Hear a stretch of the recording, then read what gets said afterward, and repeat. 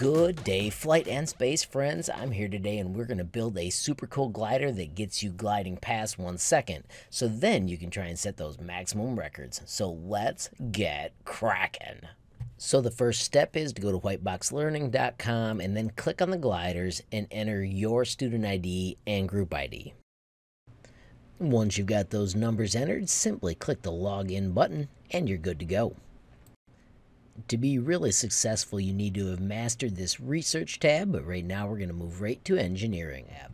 Remember, it does take a little while to load, and I'm going to walk you through this as fast as I can. First, if we hit design model, this is the design that comes with it. Uh, it is not going to work. If you hit outputs, it is breaking several rules. Uh, the length of the plane, the true length when it's flattened, and the span are all bad. Now, these can change. Your teacher can make different rules, but you always need to know the outputs and the specs as you're building. So with the design that I'm having you build, let's start with the fuselage and we're going to use 280. You need to make sure it's something smaller than what they had. And then I'm also going to change this to 10 and I'm going to hit apply. So that makes it a little thinner and lighter. I'm going to really quickly hit the optimization tab so we can see things change. So right now if you look at our plane, it's got some unstable characteristics. Now that we've made quick adjustments to the fuselage, we will start making adjustments to the wing. When you look at your wing right now, it goes all the way out to 151, which breaks that rule. I'm going to tell you to go down into the 130s. I'm going to tell you to make it a little bit swept so it's got a design like that. I'm not giving you exact answers, but you can see if you can wait, these do change and become usable. I'm going to return to the fuselage quick and I want to taper the nose. Watch how that slopes it. You can pick how much. I'm going to choose 7 just so you can see all the adjustments. You can also taper the body. And then I'm going to make sure I hit apply and then I'm going to change this to 1.9. The maximum ballast we can have is 2, so just keep an eye on that as you're building. I'm going to hide this real quick by hitting done. You can bring it back by hitting the wrench later. I'm going to take my X offset. That's how far the wing goes back. I'm going to make that 70 and hit apply. Notice that affects the pitch.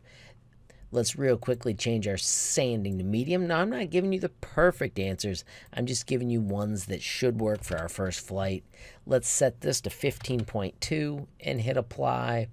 And then also because it is super fun, let's pick a color. I'm going to make mine Detroit Lions colors, so I'm going to get some royal blue on the wings and hit apply. I'm going to hit done and I'll put my wings away for a minute. Let's move to the horizontal stabilizer. Now remember there were percentages we were supposed to learn when we did the reading. Uh, if you did not learn those perfect, well, you should have. Um, we are just going to play though, and we're going to learn by adjusting.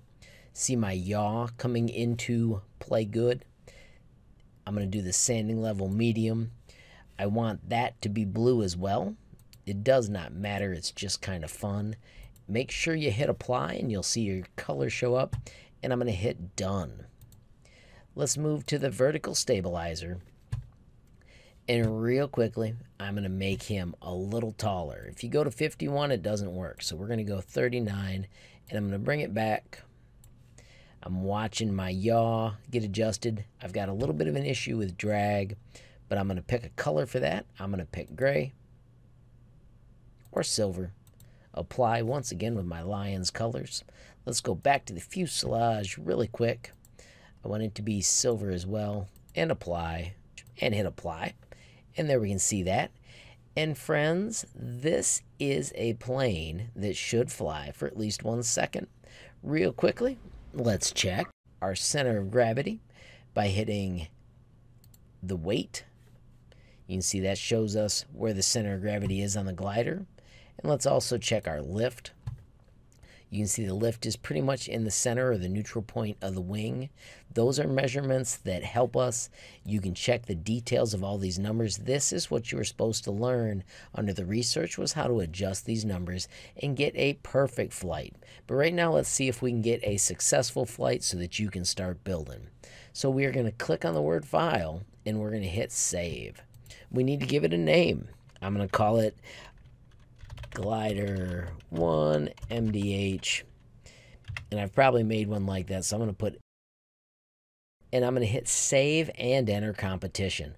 Later, you can save versions of your plane by just doing a working copy. And then we need to go to the competition page. Friends, when you do this, you just staged your plane. So if you click on it, you can make it contender 1. If you want to battle your own plane, you can keep that as you can keep that also as contender 2. I am going to hit qualifiers and I'm going to pick Austin's plane as contender 2.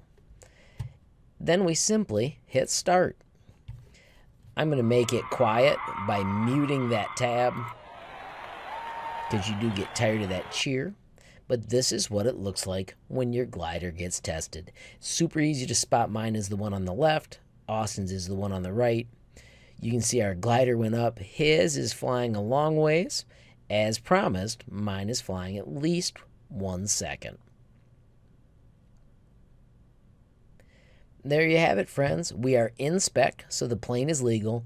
Austin kicked my butt, and that's where I want you to get is to the six second range. That crazy little plane we built hit three seconds. I was hoping for one, but I was accidentally way too talented. I want you to get to this talent, my friends. Alrighty, friends, so there is a ton for you to learn in here. You can see I just clicked the rotate tab, so I'm able to look at it from every side all these cool things that you can learn as you build this. You can make the coolest gliders ever. You just got to invest some time, effort, and learn the cool things that make a glider fly. Friends, once you've got one plane that's good, it is not a bad idea to do file new and start new from a existing concept. So then you can click on your original glider that you made, give it a new name like Glider 3 so you can keep track of them, and hit start new concept. And that way you never lose the one that you had your previous record with. Just makes it a lot smarter and a lot more fun. And then of course if you need to get back to your other one you just do file open and grab your old glider and that gives you tons of room to explore but never lose your original designs.